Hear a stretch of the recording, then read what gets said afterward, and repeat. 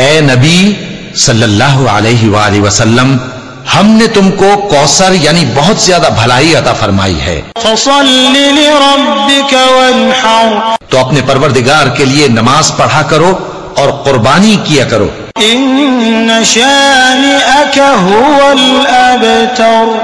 کچھ شک نہیں کہ تمہارا دشمن ہی بے نام رہے گا